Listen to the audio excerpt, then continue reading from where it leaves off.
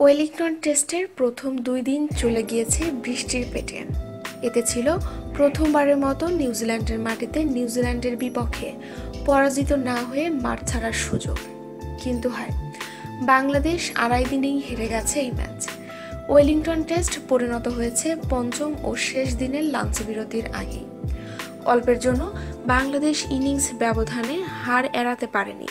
পঁচিশ রানে অপরাজিত মোহাম্মদ মিঠুন সাতচল্লিশ এবং বারো রানে অপরাজিত সৌম্য সরকার আঠাশ রানে বিদায় নিয়ে শুরু করেন শেষ দিনের উইকেট পতনের।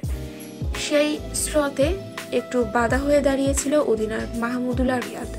মিঠুন অর্ধশতকের কাছ থেকে ফিরলেও তিনি খালি হাতে ফেরেনি তামিমের মতো তিনিও তুলে নিয়েছেন দুই ম্যাচেই একাধিক অর্ধশতক বা তারও বেশি রানের ইনিংস। তবে তাতেও শেষ রক্ষা হয়নি। লোয়ার ওয়ার্ডারদের ব্যর্থতায় টাইগারদের ব্যাটিং লাইন আপ ভেঙে পড়েছে কার্যত তাসের ঘরের মতোই। তিন উইকেটে একশো বারো রান থেকে সবগুলো উইকেট উধাও দুশো নয় রানে।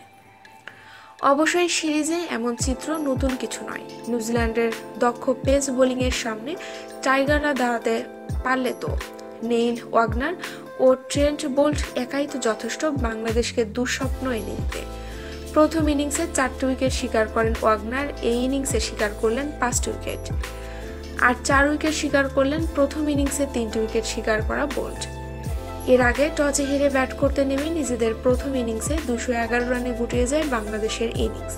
জবাবে ছয় উইকেটে চারশো বত্রিশ রান নিয়ে ইনিংস ঘোষণা করে নিউজিল্যান্ড, যা তাদের এনে দেয় দুশো একুশ রানের লিড। দ্বিতীয় ইনিংসে বাংলাদেশের ইনিংস দুশো নয় রানে থেমে গেলে ইনিংস ও বারো রানের পরাজয় বরণ করে নিতে হয়।